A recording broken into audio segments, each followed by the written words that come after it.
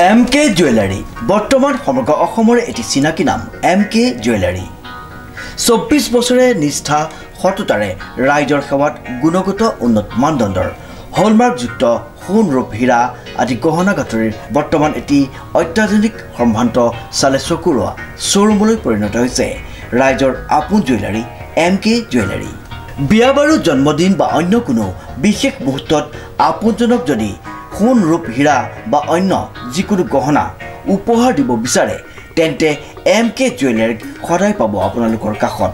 প্ৰিয় গ্ৰাহকসকলৰ যদি সোণ ৰূপ বা তাম আদি গহনা গাঁঠৰিৰ কোনো সমস্যা থাকে তেন্তে আমি আমাৰ নিজা কাৰখানাত ততাতৈয়াকৈ গ্ৰাহকৰ সুবিধাৰ প্ৰতি লক্ষ্য ৰাখি তৎক্ষণাত সমাধা কৰোঁ। আপোনাৰ মৰমৰ পুত্ৰ বা জীয়ৰীৰ শুভ বিবাহৰ বাবে আমাৰ শ্ব'ৰুমত হলমাৰ্কযুক্ত বিয়াৰ সম্পূৰ্ণ গহনা পোৱা যাব উচিত মূল্যত আৰু উচিত মানদণ্ডত। পুৰণি সোণৰ গহনা সলনি কৰি অত্যাধুনিক ন ন ডিজাইনৰ গহনা আমাৰ এম কে জুৱেলাৰীৰ পৰা ক্ৰয় কৰিব পাৰিব। প্ৰিয় গ্ৰাহকসকলক সম্পূৰ্ণ বিশ্বাসযোগ্যতাৰে আমাৰ শ্ব'ৰুমৰ পৰা কোনো অসুবিধা নোপোৱাকৈ সেৱা আগবঢ়োৱাই আমাৰ একমাত্ৰ লক্ষ্য। গতিকে আজিয়েই সপৰিয়ালে আহক আমাৰ শ্ব'ৰুম এম কে জুৱেলাৰীলৈ আৰু লৈ যাওক আপোনালোকৰ সপোনৰ গহনা গাঁঠৰিসমূহ আমাৰ ঠিকনা এম কে জুৱেলাৰী ৰূপহীয়ালি ষ্টুডেণ্ট গেলেৰীৰ কাষত। নমস্কাৰ। নিউজৰ বাতৰিলৈ স্বাগতম জনাই ষ্টুডিঅ'ৰ মজিয়াত মই উৎপল দাস চাওঁ আজিৰ বাতৰি। দক্ষিণ পাণ্ডাৰীৰ শাখা সাহিত্য সভাৰ উদ্যোগত অনুষ্ঠিত হৈ যায়। কামৰূপ জিলা সাহিত্য সভাৰ কাৰ্যনিৰ্বাহক সভা দুহেজাৰ চৌব্বিছ। নিউজৰ এক ৰিপৰ্ট দক্ষিণ পাণ্ডুৰী শাখা সাহিত্য সভাৰ উদ্যোগত অনুষ্ঠিত হয় কামৰূপ জিলা সাহিত্য সভাৰ কাৰ্যনিৰ্বাহক সভা দুহেজাৰ চৌব্বিছ। উক্ত সভাখনিত গ্ৰহণ কৰা হয় কেইবাটাও গুৰুত্বপূৰ্ণ সিদ্ধান্ত। অন্যতম প্ৰধান সিদ্ধান্ত অনুসৰি আগন্তুক সপ্তম ৰাজ্যিক পূৰ্ণাংগ কাৰ্যনিৰ্বাহক সভাখনি অনুষ্ঠিত হ'ব। দদৰাত কামৰূপ ৰত্ন বঁটা প্ৰদানৰ বাবেও গঠন কৰা হৈছে। সমিতি প্ৰকাশ কৰা হ'ব কেইবাখনো গ্ৰন্থ। উক্ত অনুষ্ঠানতে উন্মোচন কৰা হয় কৰৰা উচ্চতৰ মাধ্যমিক বিদ্যালয়ৰ সহ শিক্ষয়িত্ৰী জুনু কলিতাৰ গল্প সংকলন উপলব্ধিৰ বিৎচকু অসম সাহিত্য সভাৰ প্ৰধান সম্পাদক উপেন্দ্ৰজিৎ শৰ্মা আৰু কামৰূপ জিলা সাহিত্য সভাৰ সভাপতি ডক্টৰ নৃপেন্দ্ৰনাথ তালুকদাৰে। ৰাজ্যখনৰ শেহতীয়া ৰাজনৈতিক সামাজিক পৰিস্থিতিৰ ওপৰত গুৰুত্বপূৰ্ণ মন্তব্য প্ৰকাশ কৰে। দুয়োগৰাকী সাহিত্য কাণ্ডাৰীৰ স্পষ্ট মতামত প্ৰাচীন কামৰূপৰ ঐতিহ্যৰ মহিয়ান বৰ অসমৰ আৰ্হিত চালিত হ'ব লাগিব অসম সাহিত্য সভা। অসম সাহিত্য সভাই জাতি জনগোষ্ঠীৰ কৃষ্টি সংস্কৃতি ভাষা ঐতিহ্য ৰক্ষা কৰি আগবাঢ়ি যাব। সমাজ জীৱনত কোনো কাৰণতে ধৰ্মীয় সাম্প্ৰদায়িক মেৰুকৰণক প্ৰশ্ৰয় নিদিয়ে। বৌদ্ধিক সমাজক একত্ৰিত কৰি সাম্প্ৰদায়িক বিষবাষ্প নিৰ্মূল কৰাৰ চেষ্টা অব্যাহত ৰাখিব। কামৰূপ জিলা সাহিত্য সভাৰ সম্পাদক ৰজনী হালৱে উদ্দেশ্য ব্যাখ্যা কৰা সভাত উপস্থিত আছিল। অসম সাহিত্য সভাৰ ৰামধেনু উপ সমিতিৰ কাৰ্যকৰী সভাপতি অজিত প্ৰসাদ শৰ্মা জিলাখনৰ কেইবাজনো যশস্বী সাহিত্যিক জিলা সাহিত্য সভাৰ অন্তৰ্গত শাখাসমূহৰ প্ৰতিনিধি কামৰূপ জিলা সাংবাদিক সন্থাৰ সভাপতি সম্পাদক ক্ৰমে প্ৰকাশ ডেকা আৰু তৰণীচৰণ কলিতা আৰু লগতে এন বি নিউজৰ জ্যেষ্ঠ সাংবাদিক মধু মাধৱ দাসৰ লগতে শতাধিক সাহিত্য নৰগী উপস্থিত থাকে। এতিয়া ৰাজনৈতিক দৃষ্টিভংগীৰে আগবাঢ়িছে কিন্তু অসম সাহিত্য সভা বা কামৰূপ জিলা সাহিত্য সভা বা অসম সাহিত্য সভাৰ লগত জড়িত প্ৰতিগৰাকী মানুহৰ কৰ্মকৰ্তাৰ চিন্তা চৰ্চা কৰা ব্যক্তিৰ এনেকুৱা ধৰ্মীয়কৰণ মনোভাৱ কোনো কাৰণতে আমি আজিলৈকে পৰিলক্ষিত হোৱা নাই। বা কামৰূপ জিলা সাহিত্যৰ প্ৰতিগৰাকী সদস্য বা প্ৰত্যেকটা অঞ্চলতে এইটো যে মিয়া মুছলমান মুছলমান হিন্দু এই লৈ কথাবিলাক আগবঢ়া নাই। অসম সাহিত্য আগবাঢ়িছে অসমীয়া জনজীৱনৰ লগত সম্পৰ্ক থকা।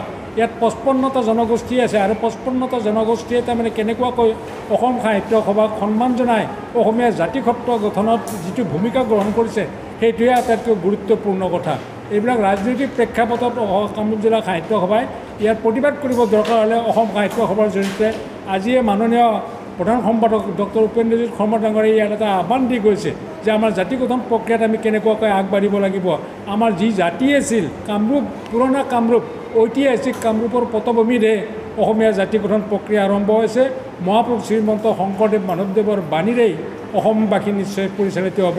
ইয়াত ধৰ্মীয় মেৰুকৰণৰ প্ৰশ্ন সাহিত্য সভাত কেতিয়াও আহিব নোৱাৰে।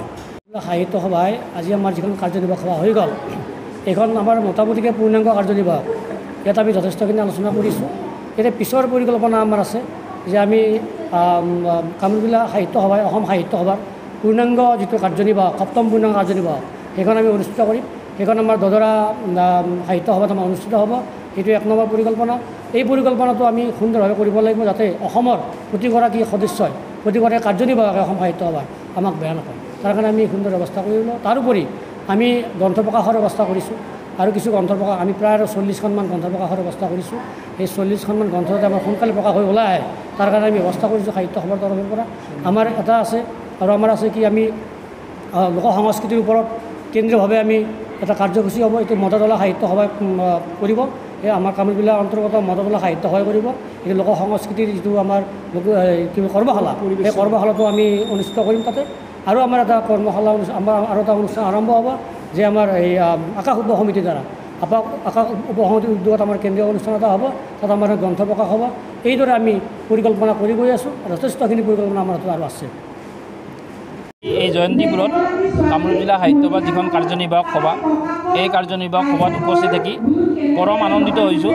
কাৰণ আজি ইয়াতে জাতি বৰ্ণ ধৰ্ম নিৰ্বিশেষে সকলো আজি ইয়াতে একত্ৰিত হৈছে আৰু অসম সাহিত্য সভাৰ যি জয়যাত্ৰা সেই জয়যাত্ৰাৰ যিটো মূল লক্ষ্য সেই লক্ষ্য আজি ইয়াতে প্ৰতিফলিত হৈছে। গতিকে মই ৰাইজলৈ আহ্বান জনাইছোঁ যে আমি থাকি আমি অসমৰ চিন্তা কৰিছোঁ। গতিকে আমি কেতিয়াও কোনো ধৰণৰ সংকীৰ্ণতা আমি কেতিয়াও সাহিত্য সভাই নকৰোঁ। আৰু মই ৰাইজলৈ আহ্বান জনাইছোঁ যে অসম সাহিত্য সভাৰ কোনোবা যদি সাধাৰণ সদস্যও হয় তেওঁ নিজকে তাৰ বাবে গৌৰৱ কৰা উচিত।